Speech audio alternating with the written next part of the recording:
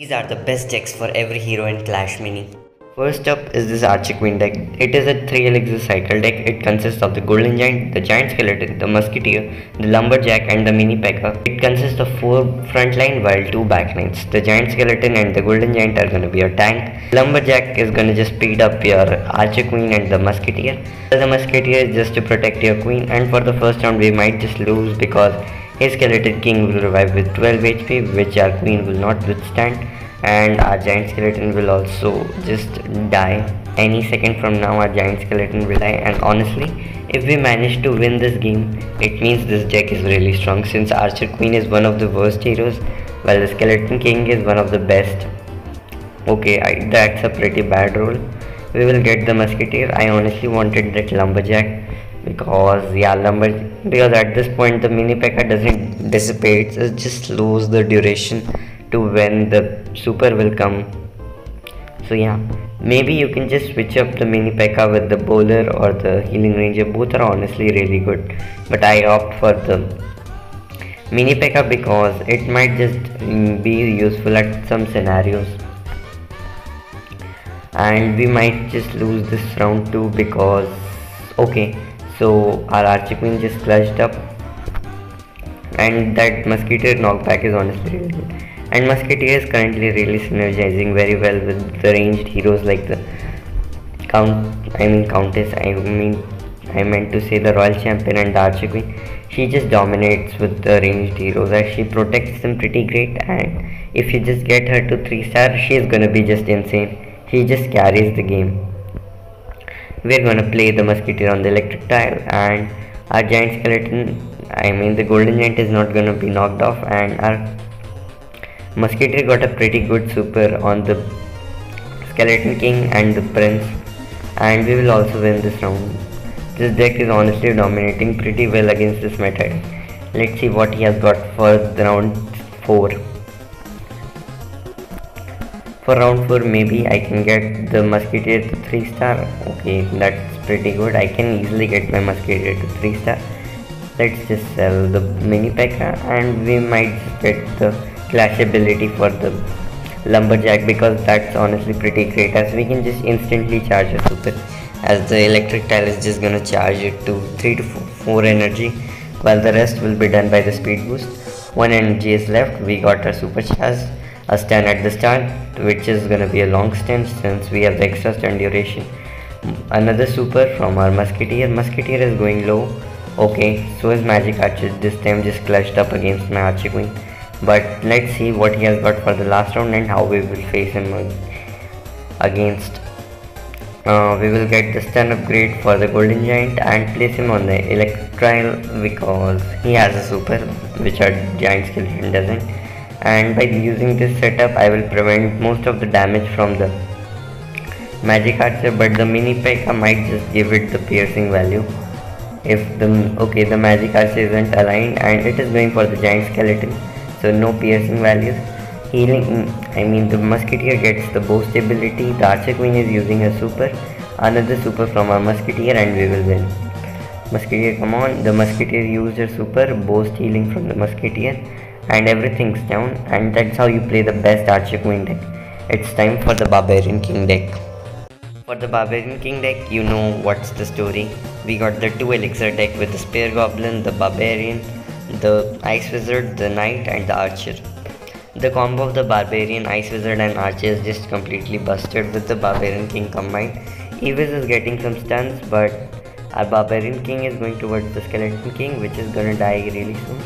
Okay skeleton king is dead and we won round 1 and honestly this deck really works against the skeleton king which I thought it won't because 2 elixir minis are generally really squishy so it will feed the skeleton king souls. But honestly it just overwhelms the skeleton king with the amount of souls he gets or it doesn't get the souls because of the damage output of this deck. Uh, we will use the Bard synergy against his Evis okay so he is not protecting his Evis so it is going to go down. Some stuns from the swordsman. Swordsman is going for 3 stars. Uh, but the swordsman is gonna go down. Okay swordsman is still alive. Archer is going to damage the skeleton king and we will win round number 2 for round 3 I honestly want to get the knight because he's gonna be pretty tanky. Okay we got the knight let's just 3 star our barbarian because he's our main damage dealer. And archer is just gonna take care of the back lanes even if he goes for a magic archer healing ranger they will die of the archer just because of the barbarian combo. And this combo still needs enough because the barbarians plus 1 damage really dominates against the 3 star healing ranger which is pretty annoying as I love healing ranger. And the barbarian okay it didn't got this super barbarian is going totally ham. It might just get rid of the swordsman. Swordsman is down. Uh, now we might just kill skeleton king. And that's how you easily 3-0 against a skeleton king. It's time for the countess deck for the countess deck we have the knight the ice wizard the evis the barbarian and the archer. The archer ice wizard and the barbarian synergizes really well with each other and can deal with the backlines pretty easily. While the evis and the knight just stuns the enemy units which is really beneficial for the countess since she could increase the duration of the backstab damage as the opponent will not look towards him for a longer time. Now just like that our countess is getting some backstab value. The backstab value had stopped but now we won round number one. For round number two i might just get my mega knight because he's honestly really strong with this deck because he could stun a lot of front lines at once if placed correctly. We will again mirror the Evis because mirrored Evis is really strong. And let's just get the archer because it will deal with the back lines like the healing ranger which is really annoying to be honest. And he's gonna sell his healing ranger and make things invisible while our one of the Evis got destroyed by the shield maiden but we still have another Evis the stronger Evis left which is gonna deal with the golden giant and the skeleton I mean the shield maiden. And golden giant is getting the backstab damage and everything is going down.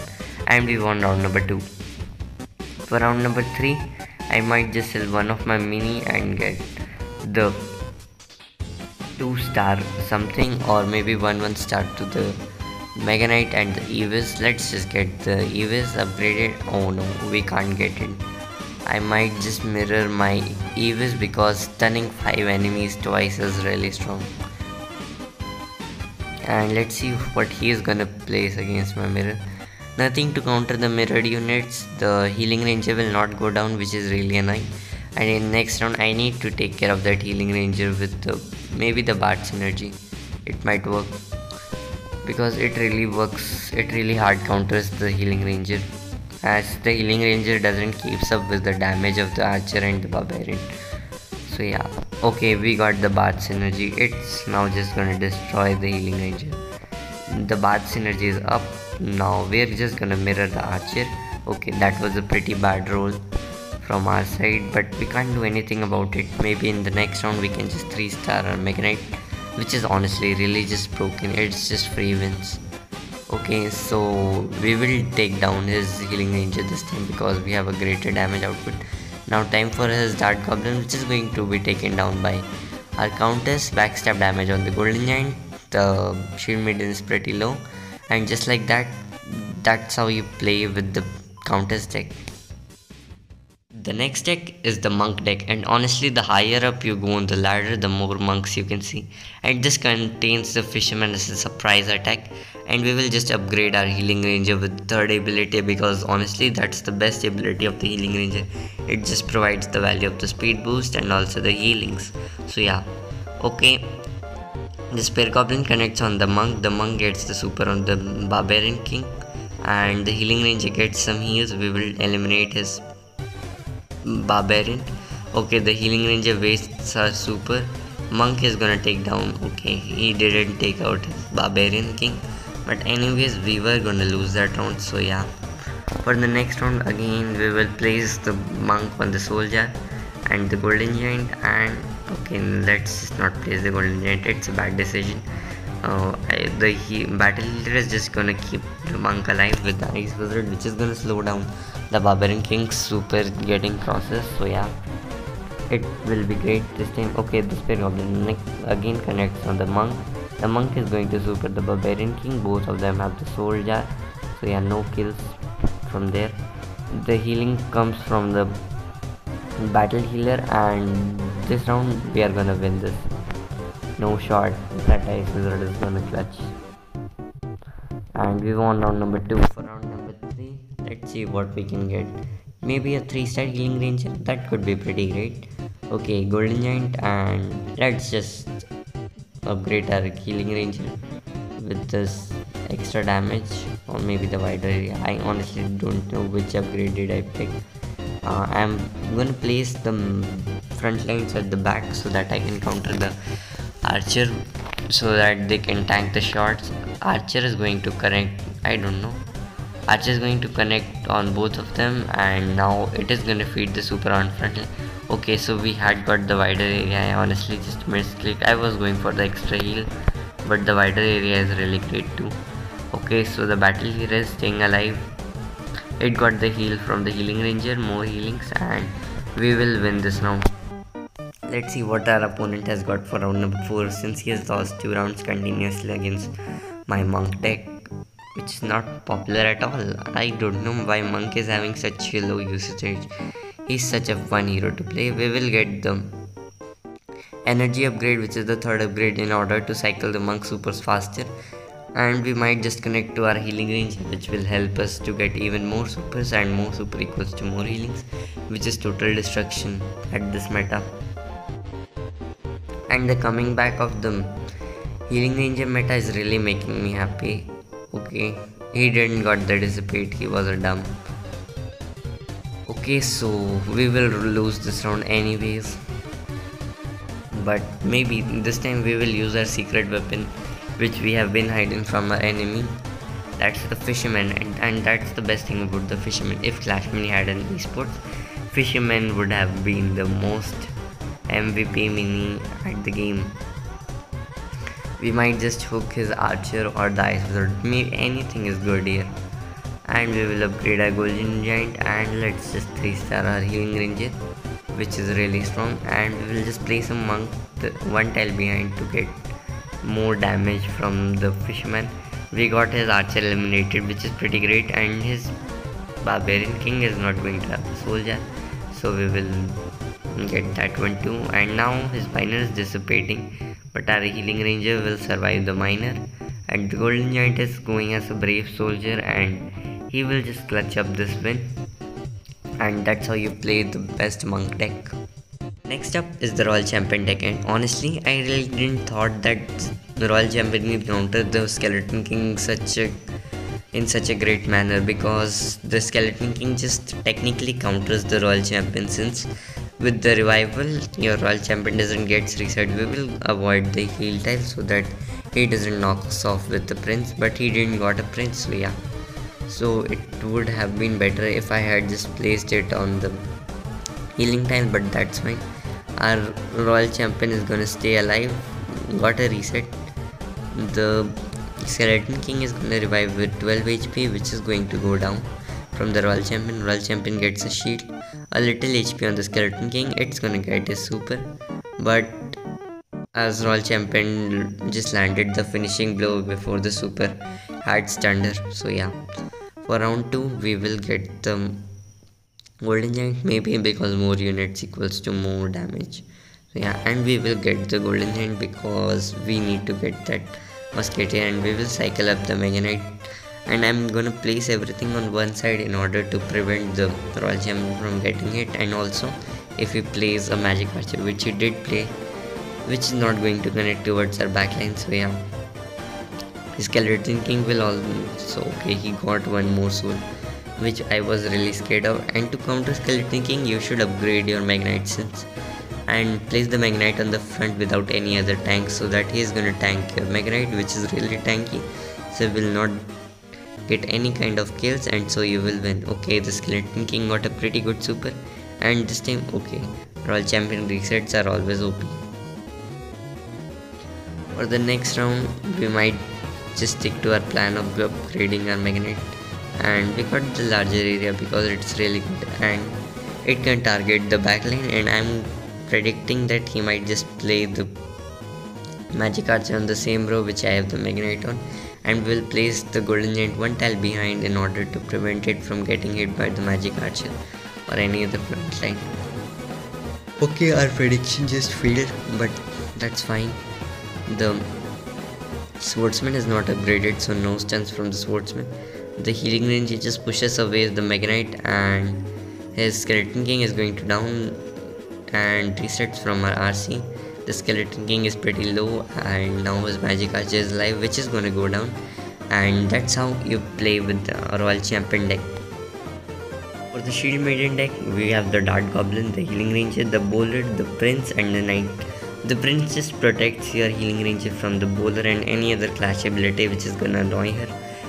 And then the healing ranger and dart goblin just supplements each other since the healing ranger keeps the dart goblin alive well the dart goblin just kills all the minis and so yeah this integrate really well with each other. The skeleton king is going to be revived. The magic archer is down but it will again revive and now his skeleton king is finally down. The magic archer is going down and now his archer is also going to go down. And we won round number one against the skeleton king.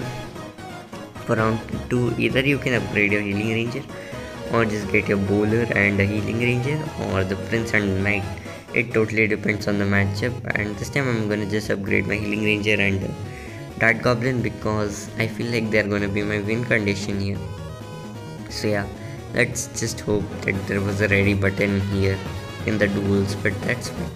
Okay the spear goblin throws a spear on the shield maiden but that's not gonna do anything against the shield maiden and now the dart goblin is infinite range so it will not move and not come close to the skeleton king. Everything is going down slowly but steadily.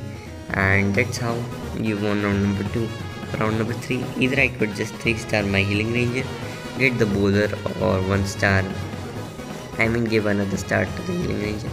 Okay okay we really didn't got a healing ranger this time. So yeah we need to play the bowler this was honestly not planned by myself, but yeah, it is what it is. And I know I'm uploading tech videos for a while, but yeah, the next video is gonna be a great one. If I just didn't manage to complete that video in one week, so I will upgrade. I mean upgrade I'm saying I will upload another video instead of that which is gonna be a tech video because yeah they are really easy to make and they're a little fun. Finding decks is always fun. And this time his skeleton king is gonna go down. Okay come on dart goblin you can just kill it. And that's how you win three rounds with the shield maiden deck. It's time for the next deck. For the next deck you guessed it it's the skeleton king clash deck. And the way the clash deck works is that it just gets all the units low while the skeleton king will get all the kills and so it will revive with full HP. Well the magic archer and the archer does a great job in taking care of the ice wizards and everything which is at the back. The spear goblin is going to get off the revival of my skeleton king. The monk gets off the revival of my skeleton king too and this is the hometown for the skeleton king because here the skeleton king just completely dominates with his revival. For the next round we will again gonna place our skeleton king on the mirror tile and we are gonna use the bowler for the prediction. I know it's the wrong side but yeah he might just play something on this side. I have a great intuition for this one. Okay. Yes, as I said, he was gonna play something there and so I protected my skeleton king by doing this and now the skeleton king just knocked off his battle healer. And the monk is going to knock off my units. The monk is turned come on skeleton king you can just get her down. And the pierce okay that pierce is not enough. So yeah we will lose this round. But yeah that's fine because we still have a lot of rounds to play with this monk player. We can just toy him because the skeleton king is totally busted in the mirror match by mirror match I mean this map the count is something. Let's just sell everything and get a better roll. We will get the extra damage for the spear goblin because yeah that's the best ability for the spear goblin since the boost is pretty conditional while the speed boost doesn't matches up with the extra damage so yeah. Okay the magic arch is getting the piercing value pretty great and now super from a skeleton king his ice wizard is only alive which is going to go down. And now we have only one round before we win and dominate with the clash deck let's just uh, maybe we could just upgrade our magic archer. And let's just sell the archer because yeah she's not doing some great job here. And let's just sell everything in order to just 3 star our magic archer with the mirror tile. It's a toxic combo and it works really well let's see okay so we are gonna knock off his battle healer and now my magic archer just got some great piercing values and just like that that's how you play with the best skeleton king deck for the final deck we have this wave master deck and for the first round I will go with the strongest combo in the game, the Dart Goblin and the Healing Ranger combo. This deck contains the Prince, the Giant Skeleton, the Knight and the rest of the two minis are on the board you can see. And this deck honestly plays a really good job with the Skeleton King deck so yeah it's pretty great. And the Prince knocks off our Skeleton King, I mean the Wave Master. And the Wave Master is going to get a super, the Prince is down, the Healing Ranger will get the heal, okay she didn't got the heal in time. And so we might just lose. The wave master is coming towards the skeleton king. And the skeleton king just might just revive the skeleton king is gonna cast a super. If our healing ranger gets one heal then we might just win. Which we didn't so yeah the skeleton king takes the win in this round. Let's see what we have for the next round. I could go for the giant skeleton but giant skeleton doesn't seem to be a great option but yeah it's a pretty decent option. It, it helps the dart goblin to ramp up easily and we will again gonna play the healing ranger on the energy tile okay. Maybe we could get a prince hit so yeah let's just remove her. Uh, okay we got again damaged by the prince and our healing ranger is down so there's no shot that we're gonna win this round. So yeah come on wave master you can do something. Okay so our wave master won't do anything special this time. So yeah we will lose this one because our healing ranger was down. Next time i will not get the guard down for a healing ranger. That's the strategy. Don't let your guard down anytime soon. The worst thing about giant skeleton is that it will die quickly which you really want. And now let's get the prince. And I will try to cancel this prince by my prince in order to protect my healing ranger. So yeah I will place the prince on the front of I didn't got the time to place the prince on the front of my healing ranger but we knocked off his golden giant so yeah that's great. His prince just missed. That's more great. Our wave master is going towards the magic archer and now the dart goblin is started to ramp up and the knight is gonna tank. And now just like that we won round number 3 but we still have two more rounds to reverse sweep this dude yeah. For the next round I will just overcome it on my healing ranger because 3 star healing ranger is the strongest minion in this game you need to accept this truth until and unless you get countered by a Valkyrie or a Countess or a Wizard because yeah those three are really hard counters as they just the anti-heal are just annoying but yeah it's good that they're not part of the meta. Okay so the wave master is going to be knocked off and more importantly the knight is going to be trapped. The wave master uses super pretty great he's 5 hp healed from that. Again a super is coming from the wave master go wave master it got stunned by the skeleton king but uh, all the minis are down so now only the skeleton king is alive which is gonna die. And we are really close to reverse sweeping this dude so yeah okay for this round we might just upgrade our dart goblin yep we got the dart goblins and now we will just win this round i'm gonna avoid the supercharger because yeah that might just get me out. The knight is an okay option because he doesn't play a really significant role as the healing ranger the dart goblin or the wave master. So yeah we can risk that. And he got the prince and we can cancelled his bullet. That's what I was planning by placing the healing ranger front of the bowler I mean the prince in front of the healing ranger. And now healings from the healing ranger and Dart Goblin is going ham. And that's how you play the Wave Master deck.